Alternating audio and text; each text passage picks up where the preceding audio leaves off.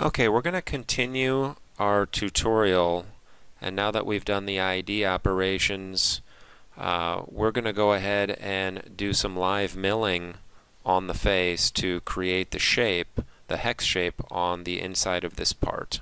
So what we're going to do now is take a look at maybe the shape on the inside. So looking at the shape itself, we see all of these faces make up a hex.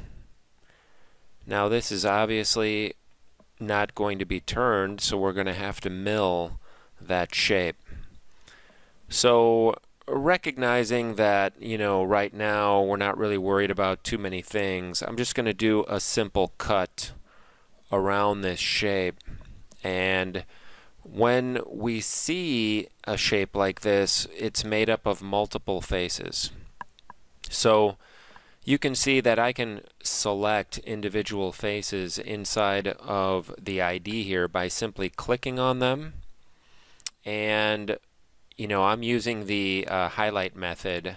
I should I guess explain the highlight method. Down here at the uh, lower right you have the capability to use dynamic highlighting or you can use the old style highlight which since I know it, I prefer it, where you turn on the old style and you can select using the left and right, right mouse buttons.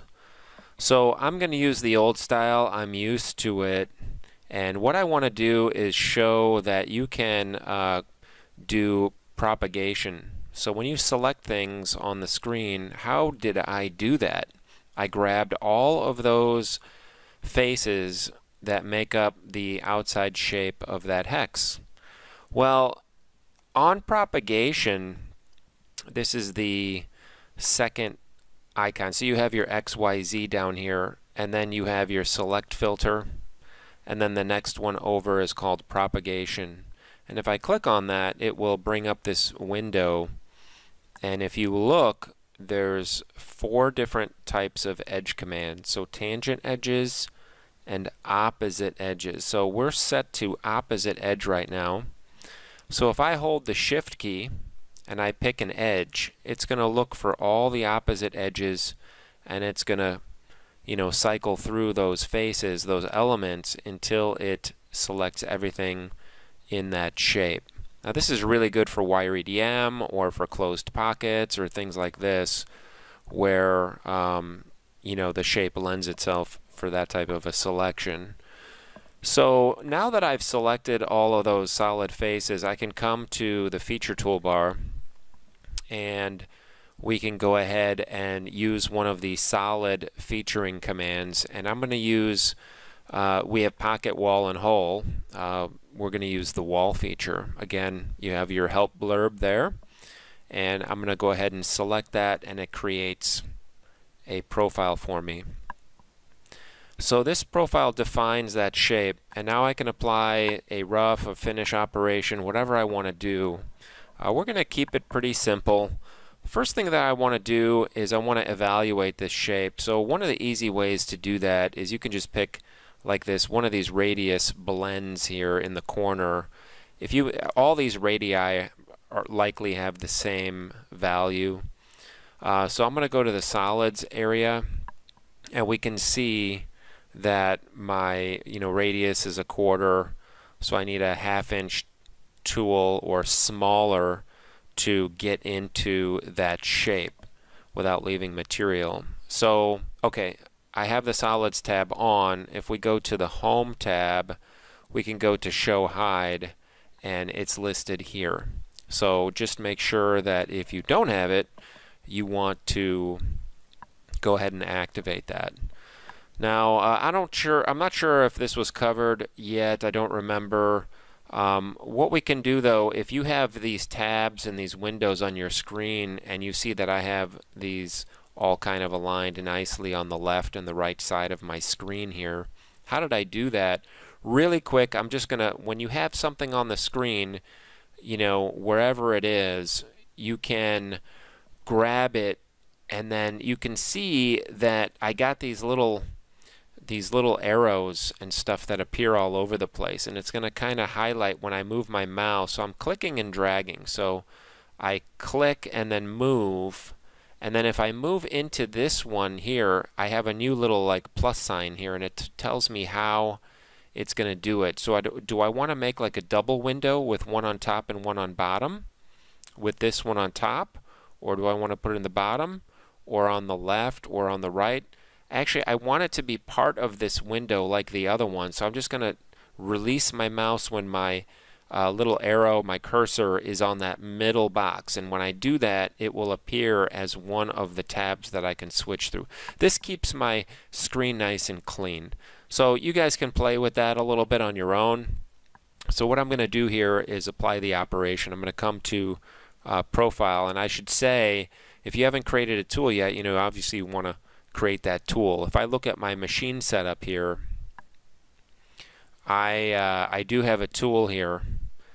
Actually, this one is a tool, but we can't use it. It's in a static holder. So we have this live tool here. And if I look at my tool uh, list, I have this tool is, uh, which station is that? Is that the 4 millimeter? No. it is this guy, which is a 10 millimeter with a one and a half uh, millimeter radius. So we have a radius to end mill. I'm just going to use this one since it's already created and it will fit. Remember that was a half inch diameter. Uh, so anything 12 millimeters or smaller should be fine. So let's go ahead and program that feature. So again, on the Features tab, make sure that you have your feature selected. And going back to the design, we're going to go to milling. And now we can select from different types of milling. Uh, now, remember, we turned this diameter, this ID diameter, to this face already. So what I'm going to do is I'm just going to do a contouring pass. Um, you know, maybe I'm I'm not going to do uh, like a like a you know multi-pass roughing or anything, pocketing or anything like that. I'm just going to do a single pass uh, around that shape just to keep it simple for the tutorial. But uh, the the process here is making your feature, applying your operation, and then um, you know setting your parameters and simulating, and then making your code. So we're going to pick that radius to end mill and uh, you know put in we'll put in some uh, some speeds and feeds here.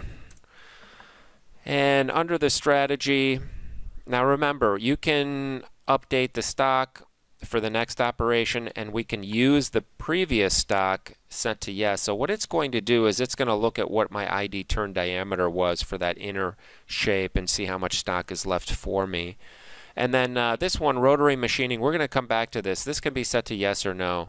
So right now it's set to, to no, which means that I'm going to basically do an XY style of contour. So your machine has to have Y-axis for this.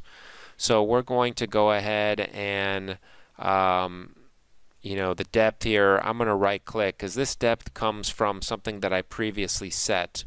So I'm going to right click on this and say system default and what it does is it reads the depth of my feature right here. So we're going to do the whole thing in a single pass. We're going to be offset to the left. Uh, that's all fine. Um, we're going to come to the links tab and uh, what I'll do here and you can see here that we can set different I'm not going to go into all of the you know this is all covered in the help files uh, you know we want to keep it simple so the full clearance, I'm going to make this 0.1 and we're going to select maybe the model as my full clearance reference point. So I see now that uh, my lead in and lead out radii might want to be adjusted. Looked at that very quickly as I hit OK. Um, also we can see where we turned and the radius of the end mill is larger than the radius of the turned shape. So we might want to change either the tool or you know whatever that we're going to do in terms of ordering tools for this for this part. But uh, the simulation shows me that right away which is nice. So I can see that this is going to be an issue on the finished part before I take it out to the machine. And I can make an adjustment for that. I can come to the uh, tooling tab and look at this tool here and just double click it. So we're going to make this a half millimeter. And we get a new operation because it rebuilds the operation here. And now we can see that that radius blends in nicely and we can see where the uh, you know the stock and the part are going to be so um, I can see on on this radius lead in, you know, to edit an operation, you just double click the operation and you know you can change whatever you want. So here under the links, maybe I want to change something about how my uh, lead in distance and radius are going to behave. So what do I want to do here? Maybe I want to um, set these to be exactly the same. So we'll do 0.4 for both of those and uh, we'll do a 50 thousandths radius. And when you change those values, you'll see your uh, lead in and lead out values or you know the graphics of the toolpath update so you can see. So you know the the programmer once they start uh, understanding what it is that they're looking at on the screen, they'll be able to tell right away what's going on. So this was our first milling operation. Uh, we're going to go ahead and simulate this. So under the simulation, I'm going to go ahead and select play. And that was pretty quick. So let me slow things down a little bit. And let's go to the program view and I'll grab the link so the turret comes from tool change position. And then we see because we had uh, rotary machining no or off, we saw the turret moving in X and Y. So what I'm going to do now is just double click this and say, you know, under the general tab here on that rotary machining, we're going to set this to yes. And I'm going to say OK. And now I'm going to resimulate that operation. Now we'll see the part spinning. So the tool is going to come in. The tool is turning and the part is turning as well.